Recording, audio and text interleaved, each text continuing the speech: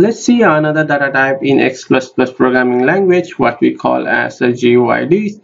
A GUID, a globally unique identifier, is a 16-byte or a 128-bit integer that can be used across all computers and networks wherever a unique identifier is required. Such as a number has a very low probability for being a duplicated. So whenever we require a very unique identifier, then we can use a GUID to create a, this unique identifier for us. So there are a string representation of a GUID and here are two examples of a string literal that can be a valid representation of a GUID. So if we want to generate uh, GUIDs from a string, so here are the example that we can follow. We can see one is without uh, opening bracket over here. We have a curly bracket opening and closing over here but here we don't have. So these are the two valid examples that we can use. So there are some string uh, the string representation of a GUID must follow the restriction described in the following table. So let's see what are the restrictions that we need to follow to generate a GUID through a string representation.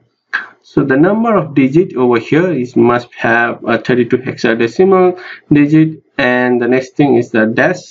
Uh, the dashes must have a 4 dash character embedded at a location of 8 so after 8 character we need to add a 1 dash.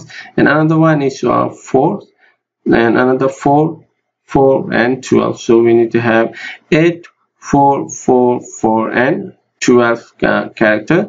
Yep. And in we after 8 character we have 1 dash.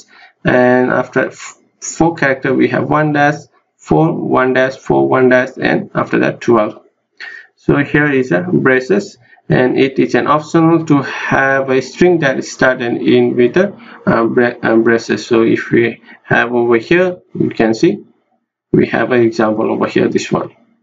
And the next thing is the length. The length the string must have a total of either 36 or 38 character depending on whether a braces are added. So if the, the braces is not added then the total should be 36 over here and if the braces is added then we need to have a 30, 38 character. The length of a string should be of 38 and another one is uh, casing the hexadecimal digit A to F or A to F can be either uppercase or lowercase or mixed.